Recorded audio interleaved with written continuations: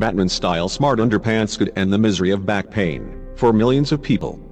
Inventors have developed briefs that contain wearable technology designed to get rid of pain in the lower back. Experts said, many potential solutions for back pain are unproven, unworkable or just plain unattractive. Now a team of engineers from Vanderbilt University in Tennessee hope to change that with a design that combines the science of biomechanics and advances in wearable technology to create a smart, mechanized undergarment. More than one in two adults suffer low back pain in their lifetimes, and the condition is estimated to cost billions in healthcare and lost productivity every year.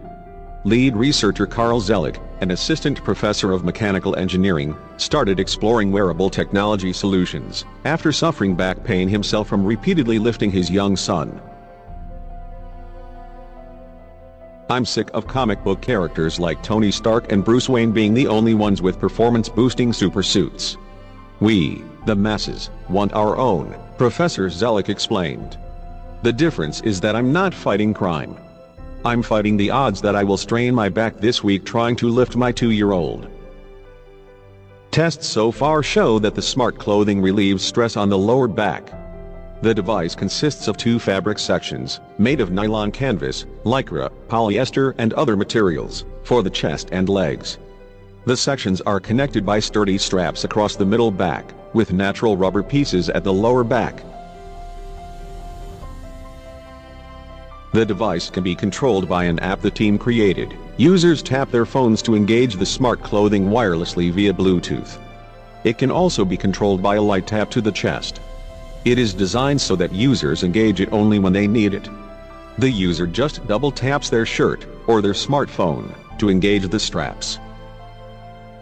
When it is turned on, the elastic straps tighten so when the user completes a task, like lifting a heavy object, some of the pressure is diverted from the lower back to the straps. And when the task is done, another double tap releases the straps so the user can sit down, and the device feels and behaves like normal clothes. Eight subjects tested the device leaning forward and lifting 25 pounds and 55 pounds weights while holding their position at 30, 60 and 90 degrees. Using motion capture, force plates and electromyography, which records the electric activity of muscle tissue, the team showed the device reduced activity in the lower back muscles by an average of 15 to 45% for each task. The next idea is to find out if we can use sensors embedded in the clothing to monitor stress on the low back, and if it gets too high, can we automatically engage this smart clothing, Professor Zelik said.